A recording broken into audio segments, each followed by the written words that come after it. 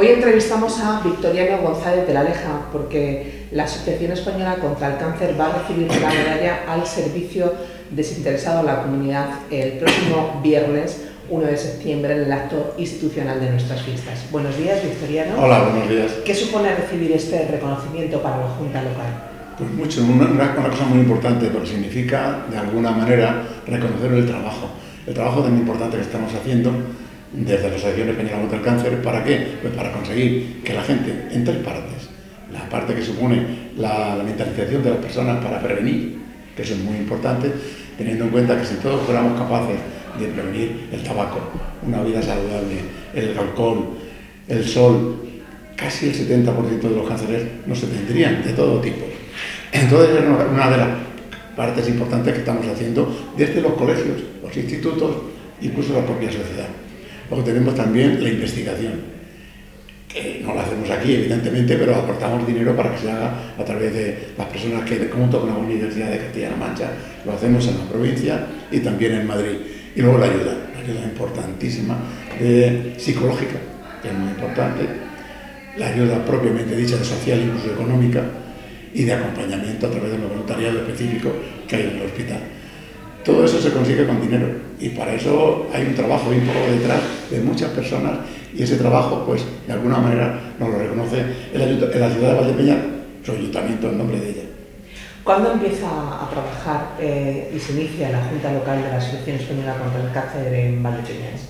Sí, se inició hace aproximadamente unos 33 o 34 años. Había una junta diferente que la que estamos ahora. Entonces estaba la mujer de Yagüe, no me acuerdo cómo se llama, Pilar, Pilar, Pilar se llama así. Y ella es la que estuvo mucho tiempo. En un momento determinado, pues eh, me llaman a mí. Yo entonces disponía de más tiempo, estaba empezando a prejubilarme, todavía no me había prejubilado, prejubilado, y me hice cargo de la asociación y hasta ahora. Digamos, aquí ya pues casi 25 años. ¿Cuántas personas forman eh, en general la Junta? La Junta local somos, éramos, éramos 13 personas 12 mujeres y yo, ahora somos 12, porque una de ellas ha tenido que dedicarse a otras cuestiones y lo ha tenido que dejar, aunque colabora con nosotros cada vez que le llamamos. Enseguida viene y nos ayuda. Ahora mismo estamos 12 personas. ¿Dónde están situados? Pues para que la gente sepa si necesita el día de mañana eh, venir a, pedir ayuda, asesoramiento, cualquier cuestión, dónde están situados y que la gente pueda venir. Estamos situados en la primera planta del centro, no hemos subido las escaleras nos ve enfrente. Es un local muy luminoso, con el pintado de verde, con las columnas blancas, el anagrama y, y el rótulo de la Asociación Española contra el Cáncer en Valdepeñas. Allí estamos todos los días de la semana, por la mañana, de 11 a 1, menos los viernes.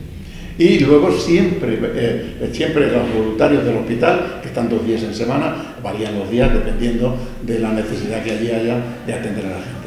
Y tenemos nuestra, nuestra psicóloga, que está ubicada en el Centro de Salud de Valdepeñas 2, en la calle Batanero al final, y la, la asistente social, que viene un día allá, en el Centro de Salud de Valdepeñas 2, y otro día viene por aquí, dependiendo de la necesidad queremos tener un contacto con él, se la llama y viene rápidamente y atiende a la persona, no la puede atender por teléfono, la atiende personalmente. Habla un poco de los servicios que ofrecen, pero si quiere detallar algo más o queda alguno por, por explicar, pues háblenos de, de, esos servicios que ofrecen. Los servicios que de, en, en, realidad que ofrecemos son las, el tema de ayuda psicológica a través de nuestra psicooncóloga, que es muy buena, Belén, que atiende sin, sin discriminación de, ni de edad, ni de tipo, ni de, ni de carnet, ni de nada, simplemente cuando una persona tiene la, la enfermedad se le atiende. A veces los familiares los necesitan más que los propios enfermos.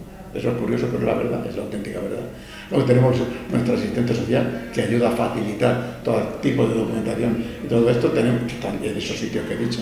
Luego nuestros, nuestro voluntariado específico, preparado, que está en el hospital, para atender allí y acompañar todo lo que sea necesario en colaboración con el hospital y, y con los servicios que presta el propio centro y luego estamos aquí siempre para facilitar la información necesaria que tengan que ir a un lugar o a otro o a otro para tenerlo siempre. Esos son los, servicios que ofrecemos.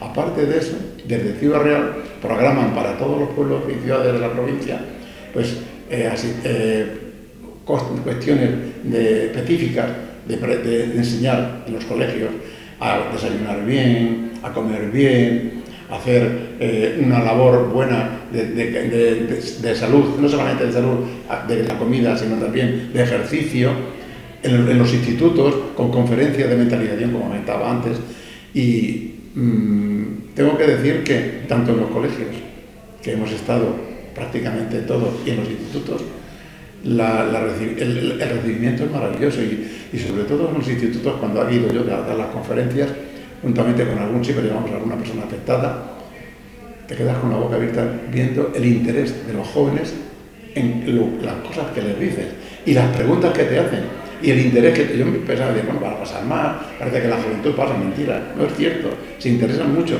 Lo que pasa es que tienes que provocar que, que, se, que se interesen, que sepan lo que está pasando, por qué y cómo y qué es lo que puede pasar y qué es lo que no puede pasar. Y ellos se implican también en eso. A mí, para mí fue una experiencia en las dos últimas preciosas, porque además, como desde, la, desde el Peronado de Barbuena conectamos con los otros dos institutos a través de online y bueno, fue, se me pone la carne de gallina. Qué preocupación, qué preguntas de interés auténtico para ellos y para su familia. ¿Qué objetivo principal es el que eh, quieren trabajar en este momento desde la Junta Local? Ahora mismo estamos implicados más que nada en la prevención. Eso nos está preocupando mucho. ¿Por qué? Pues porque de alguna manera es lo que comentaba antes, muchísimos cánceres se evitarían si fuéramos capaces de entender una vida saludable, una comida saludable, no abusar del alcohol, no abusar del tabaco, no abusar del sol. El tabaco mejor dejarlo. Y el sol prácticamente también. Eso que te, que te tumbes ahí, venga, ah, que está muy bonito. Porque además hay una cosa, la piel es, como un ordenador, tiene memoria, guarda, dice, me he puesto morenito no pasa nada, se me pasa, no, eso lo, vas acumulando. Y ahí hay tipos de cánceres, como el ejemplo de piel que hay dos, pero sobre todo el melanoma, que es, pues, francamente, malito, malito de verdad.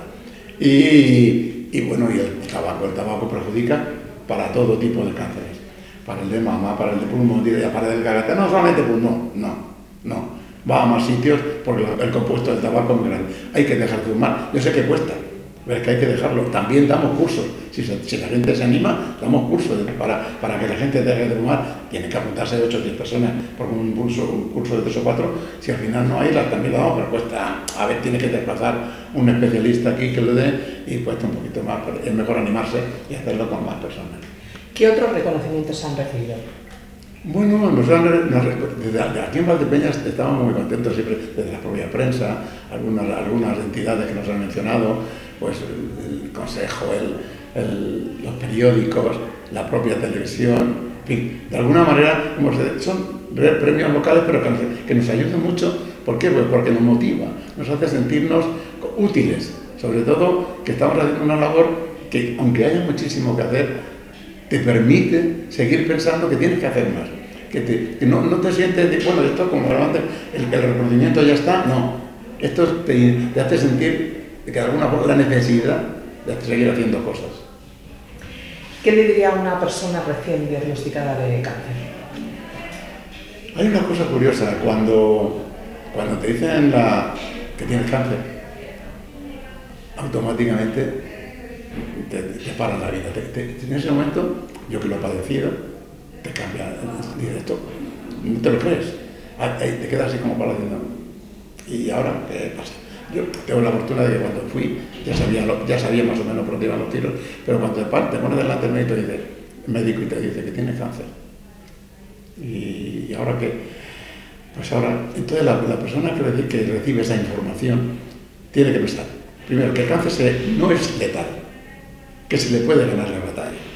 Que el cáncer hoy día, con los medios que hay, cogido a tiempo y tratando en condiciones, hombre, lamentablemente alguien se nos va y eso duele mucho eh, y de alguna manera pues eh, te afecta. Pero la inmensa mayoría, la inmensa mayoría se consiguen salvar.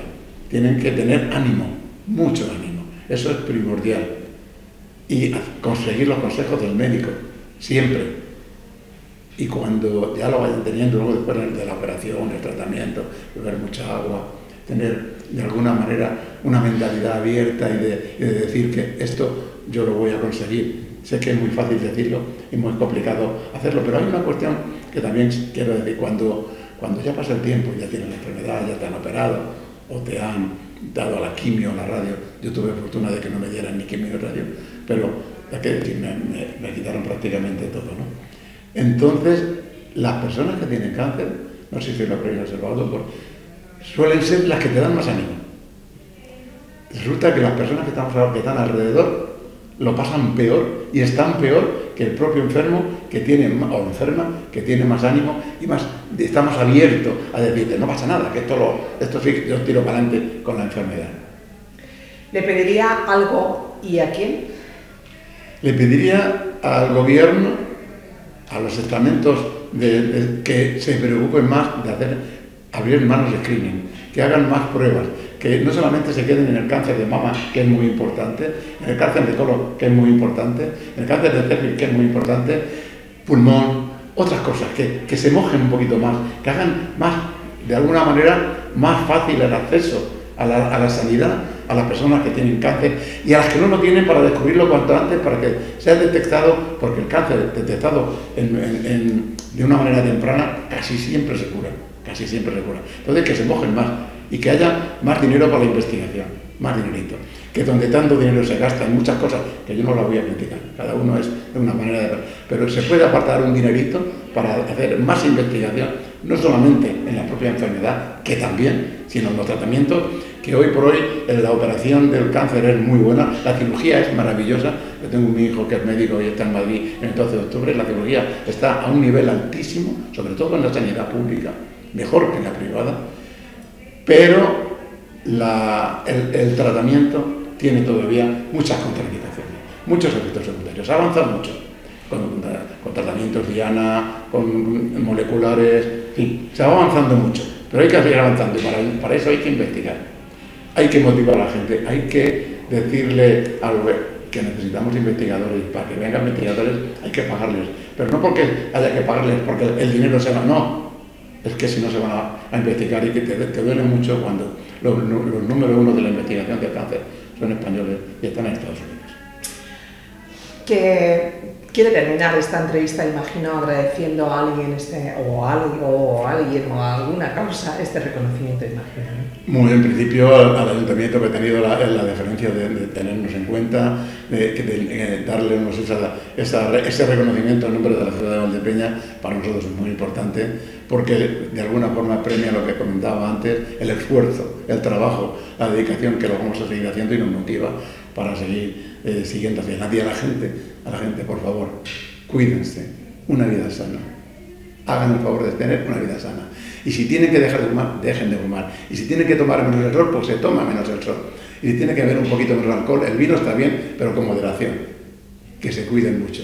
Desde pequeñitos, la mentalidad. Y sobre todo, todas las prevenciones que hay, que son pocas y ahora más, hay que hacerlas. Hay que cuidarse mucho porque eso puede ser la salvación de muchos de nosotros. Y la vida es muy importante. Pues con esas palabras de Victoriano tan importantes que acaba de decir que la vida es muy importante y los que somos compañeros del camino del cáncer lo sabemos. Desde Valderred nuestra más sincera enhorabuena desde lo más profundo de nuestro corazón para la Asociación Española contra el Cáncer y quedarnos con un mensaje principal. La investigación del cáncer salva nuestras vidas, así que apoyen a cualquier asociación u organismo que investigue el cáncer en nuestro país.